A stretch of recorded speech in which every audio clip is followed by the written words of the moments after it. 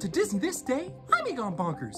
And on this day in 1967, preparations would begin on the land where Walt Disney World would be built. Now that's a magical story, isn't it?